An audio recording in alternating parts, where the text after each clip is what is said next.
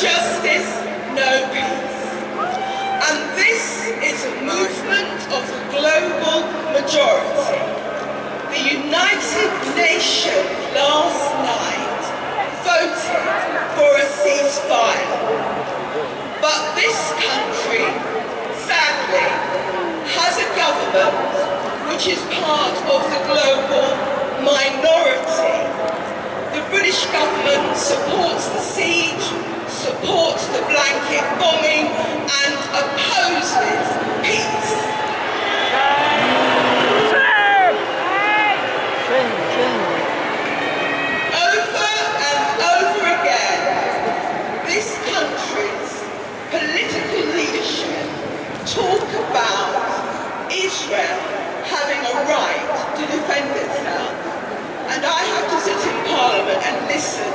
that.